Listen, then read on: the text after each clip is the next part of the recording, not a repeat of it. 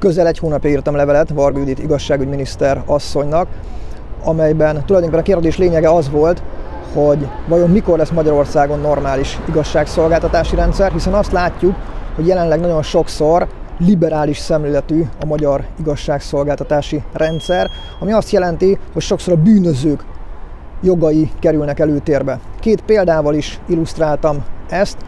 Az egyik az az volt, amikor nem olyan régen Borsod megyében egy intézkedő rendőrt egy többszörösen elítélt megtámadott.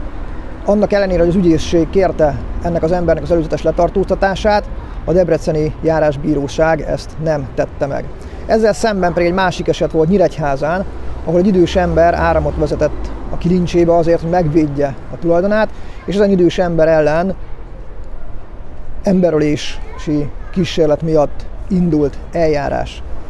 Sajnos azt kell mondanunk, hogy bizony ez a két eset ez nem egyedi. Számtalan esetet tudnánk felsorolni, hasonlóakat.